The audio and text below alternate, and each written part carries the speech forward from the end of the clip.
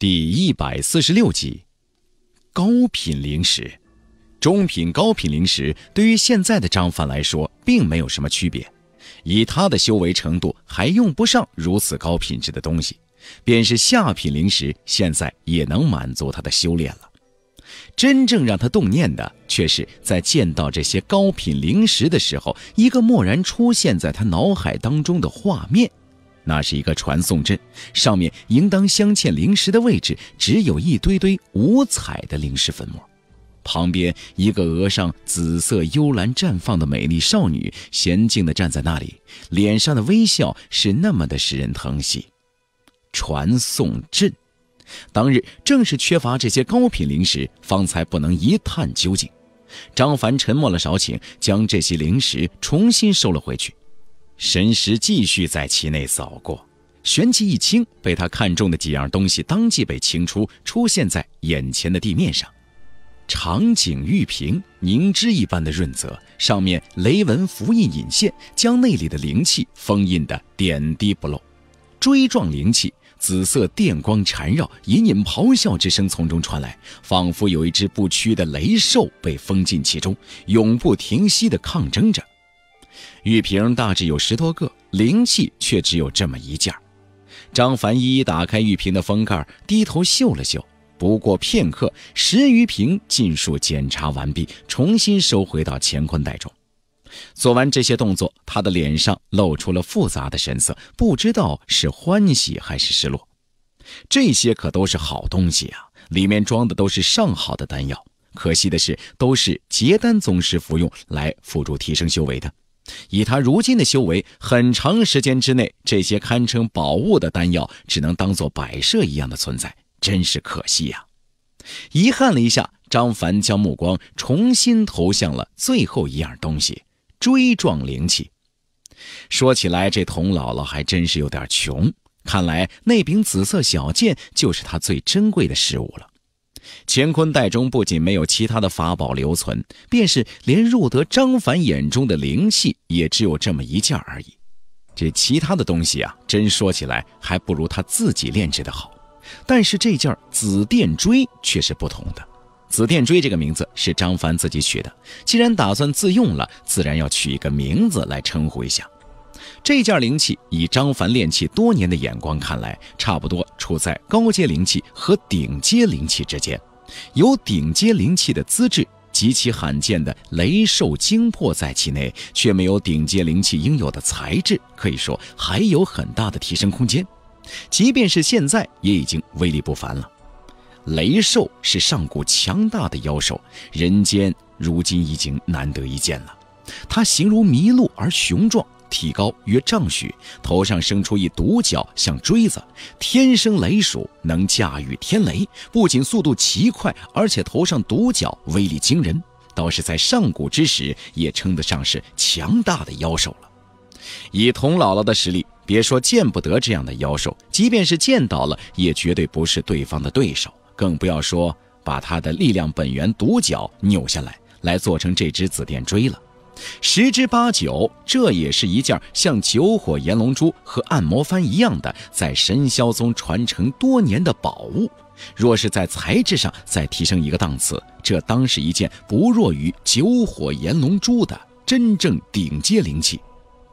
先前为了万无一失，能将童姥姥阻住，张凡可是自爆了自己两件法器呀，可以说是攻击手段大大减少。本来还想着出去之后啊，重新炼制一些应急用呢，不想瞌睡碰见枕头，就得到了这么一件更好的。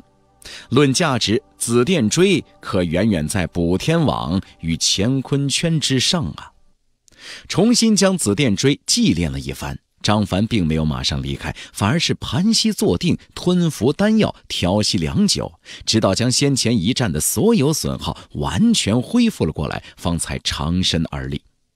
此时所处的位置，本来应当算是剑冢的边缘了，可是，在剑魂与童姥姥一战，还有自爆金丹的恐怖威力之下，早已被夷为了平地。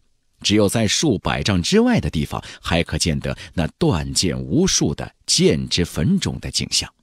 那里也正是张凡的目标。金之本源到手，此处再无值得留恋之处了。身子一动，化作了一道流光，向着剑冢中心处急速飞去，片刻就不见了踪影。万里黄沙暮起，西隅白日隐迹。一片迷蒙昏黄的沙尘边缘，一道亮白色的光华浮现，如同水幕一般，阵阵涟漪。稍顷，亮白色泽渐渐褪去，转而昏黄，恰如眼前的黄沙不辨彼此。不过片刻，光幕一阵模糊，旋即像泡沫一般消散，显露出其中一个悬衣人影。嗯，这就是土绝之地了。张凡稍稍定了一下神，举目望去，这一切都与先前几个场景转换相似，不同的是，一眼望去，他的神色骤然大变。一望无垠的沙漠忽然迷蒙一片，恍若一幅涂满了黄沙百草的画卷被一只大手卷动、折叠、翻滚了起来。原本冲塞天地的飞沙之声陡然消失不见了，只觉得一阵扭曲，好似站在一面龟裂的落地大镜之前，眼睁睁地看着镜中自己的影像与周边所有的环境齐齐寸寸开裂，不复完整了一般。该死！张凡顿时面沉如水，哪里还不知道发生了什么事情啊？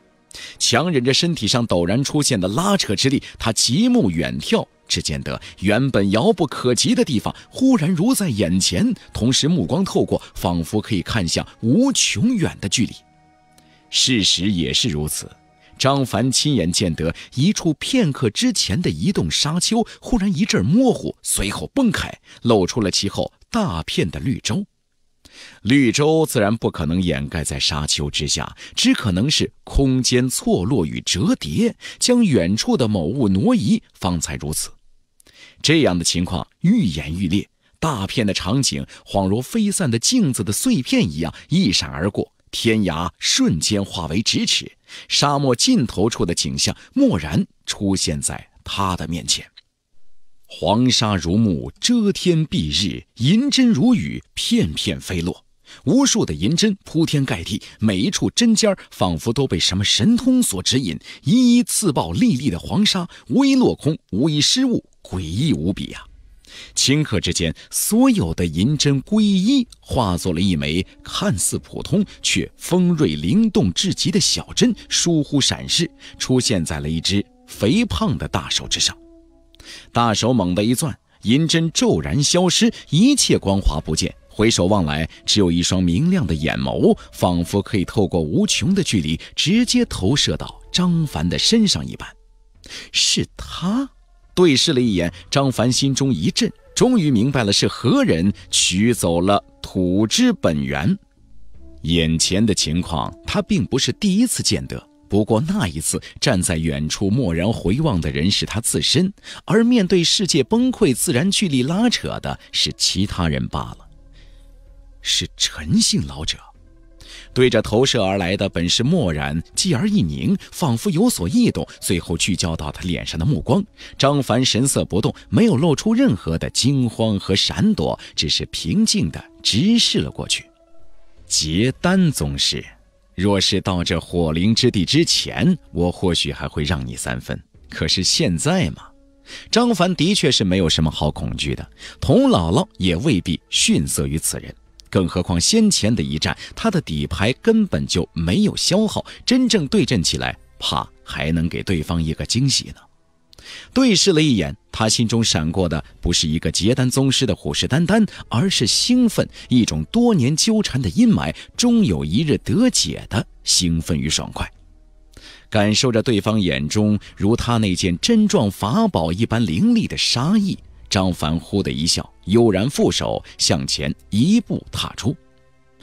纵浪大化中，不喜亦不惧，应尽便须尽，无复独多虑啊！要来的都来吧，让我们一次解决问题。这一步恍若踏在了某种殊要的所在，置身之处蓦然崩散游离，只如世界的碎片漂移，向着某处飞逝。仿佛感受到了他眼中表露出的真意，无穷远处的陈姓老者猛地一拂衣袖，转身离去。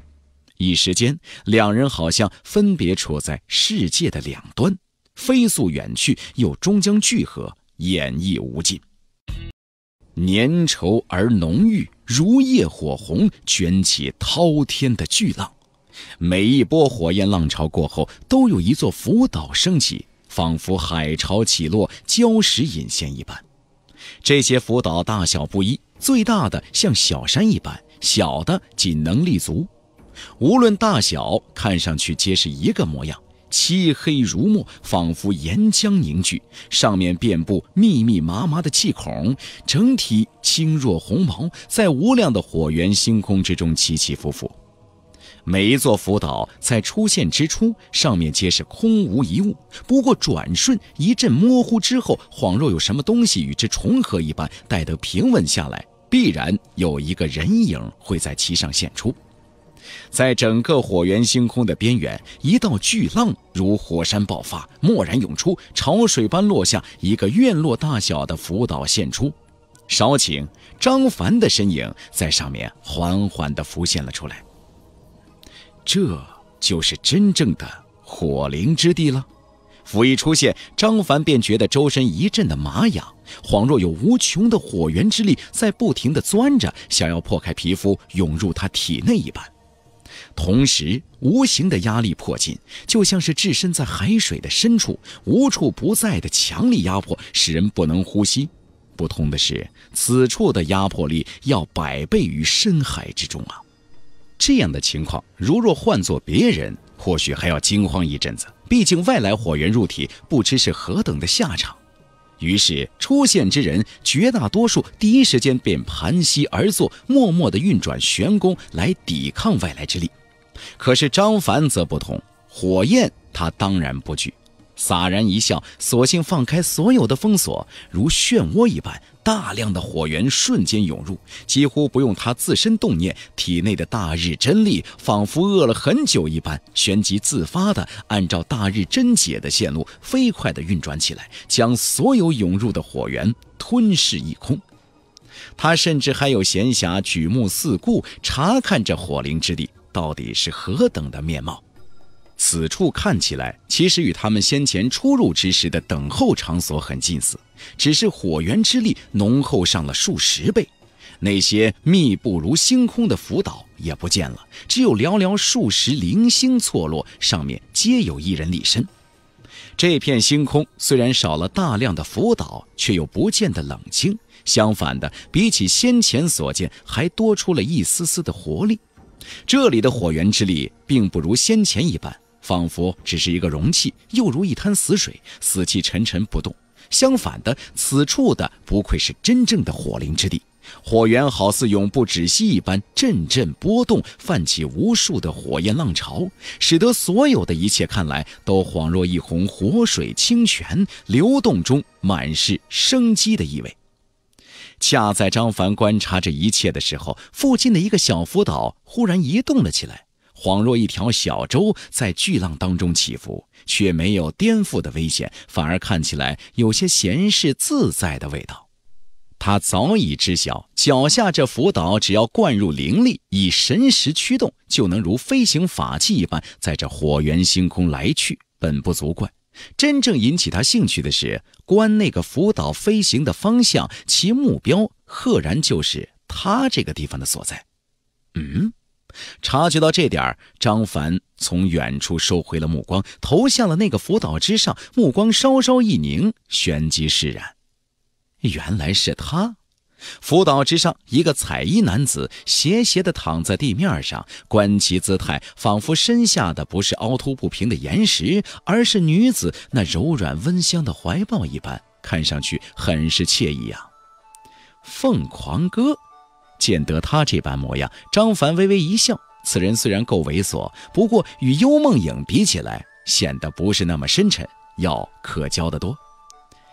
张师兄，好久不见了，想死小弟了。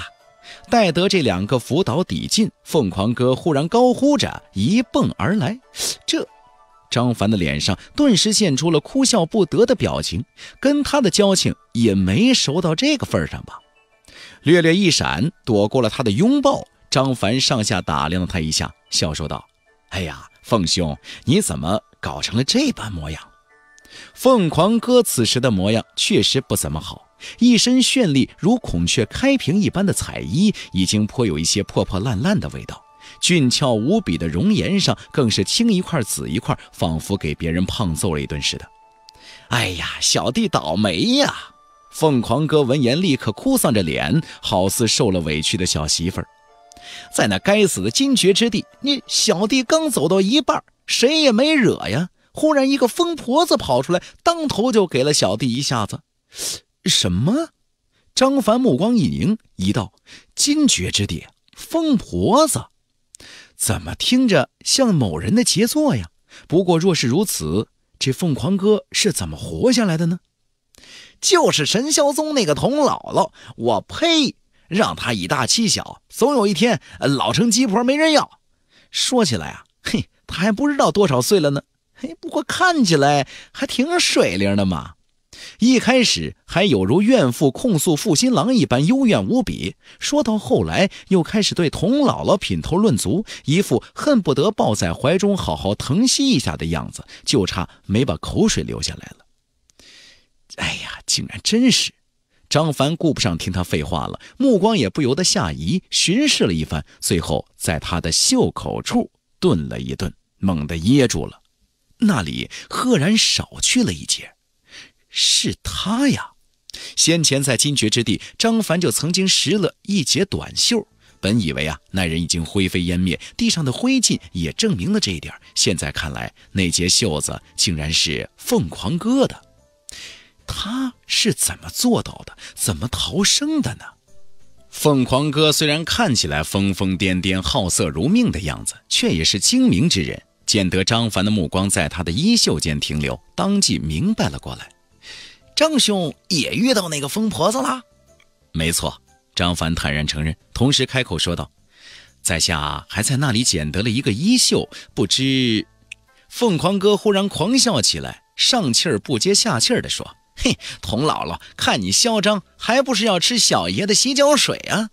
说着，手掌一翻，在腰间的灵兽带上抹过，一道红蒙蒙的光影闪现了出来。张凡定睛望去，只见得一只怪鸟出现在了凤凰哥的怀中，此时正被他抱着一顿猛亲呢。张兄啊，小弟可没有师兄你这份能耐，能从那疯婆子手中逃生。嘿，我呀，还是靠着我这个宝贝儿啊。一边说着，凤凰哥一边将怀中的怪鸟高举起来，屁股向着他的脸，脑袋对着张凡的方向。此时，怪鸟身上的红光收敛，张凡也真切地见得了他的真容。诶，这是三生邪凤。Uh...